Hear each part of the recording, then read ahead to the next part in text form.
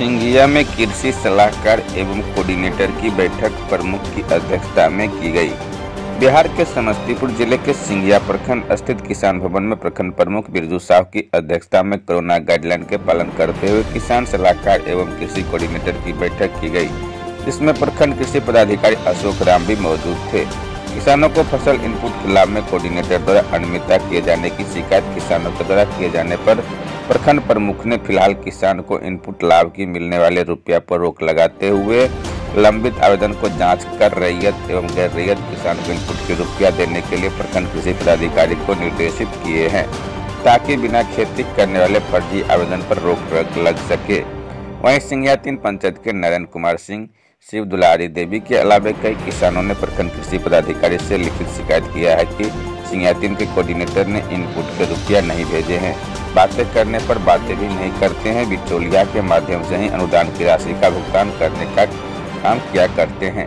बैठक में प्रखंड उप प्रमुख रिंकू सिंह पूर्व मुखिया निरंजन सिंह मिथिलेश सिंह छोटे पासवान के अलावे कई लोग उपस्थित थे।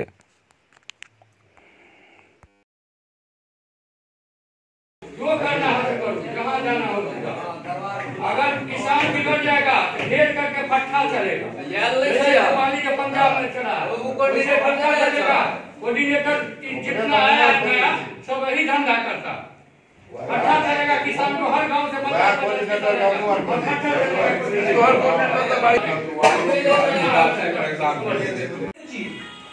चैलेंज किए हैं उसके बावजूद भी गिरफ्त कर रहे हैं हो गया को दिखाई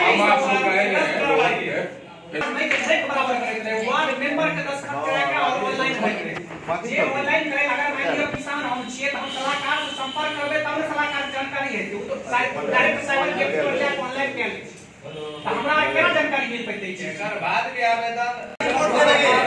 आज ग्यारह या पंद्रह आवेदन नहीं कोई किसान का बराबर से सारा आवेदन रखे हुए वेंडर के माध्यम से। उनतीस और अट्ठाईस सौ के आसपास आवेदन है वहाँ पे ग्यारह की की है। अभी तो कितना स्वीकृत किए कितना अस्वीकृत किए कितना बचा हुआ है क्या है सारा चीज़ उपलब्ध पहले कराया हम लोग देखेंगे उसके बाद जाके आगे का बात को तो मान-